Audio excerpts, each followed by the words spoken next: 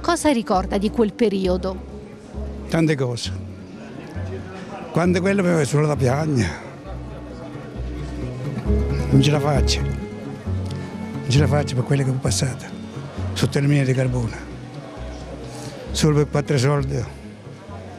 Non ce la fa a trattenere le lacrime. Antonio Lattanzio era poco più di un ragazzino quando lavorava in una delle miniere di carbone in Belgio. Oggi, 63 anni fa, la tragedia di Marcinelle del Bois de Casier era il 1956. Persero la vita 262 minatori, 136 italiani, 60 abruzzesi. Il comune di Manopello, paese della Val Pescara che più di tutti ha pagato il tributo di sangue, ricorda gli uomini che trovarono la morte nella miniera in fiamme fiamme. Solo in 12 riuscirono a salvarsi. Si originò un incendio causato dalla combustione d'olio ad alta pressione innescata da una scintilla elettrica.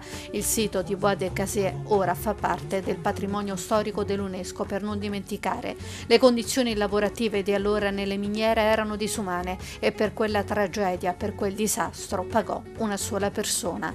Il presidente dell'associazione Marsinel per non dimenticare Davide Iezzi. Ricordiamo che c'erano anche le donne, le ragazze addirittura che lavoravano nei pressi della miniera. Voi adesso scoprite una targa in memoria di una ragazza di Manopello di 16 anni che è morta in una miniera. Qual è la sua storia? Allora, Antonia D'Astolfo nacque a Manopello nel 1879. Il suo destino giovanile, lavorativo per l'epoca, quello di lavorare eh, come appoggio ai minatori delle miniere di asfalto della Maiella. Eh, fino a quando arrivò il 10 ottobre 1895, quando Antonia fu colpita da un masso e lei fu colpita da questo masso e morì su, sul colpo. Sempre presente ogni anno la signora Maria, vedova di Marsinella. Come si lavorava in miniera? Male, no, lui non mi raccontava perché avevo paura di farmi male però la sera prima che lui morisse, stavamo cenando e mi disse, dice Maria, se succederebbe qualcosa in miniera, io sono sicuro di salvarmi perché stiamo facendo un pozzo nuovo. Io scappo dall'altra parte e mi salvo. E di fatto lì l'hanno trovato, però il muro non era aperto, è rimasto bloccato una vicenda che ha colpito da sempre il presidente della regione Marco Marsiglio.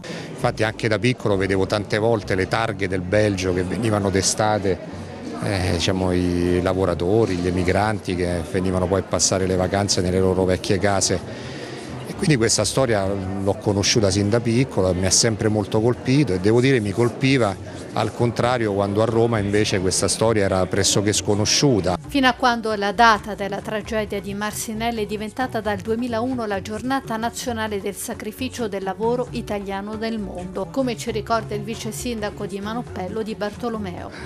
Deve essere la giornata del ricordo, del ricordo della sicurezza del lavoro e soprattutto del ricordo dell'emigrazione.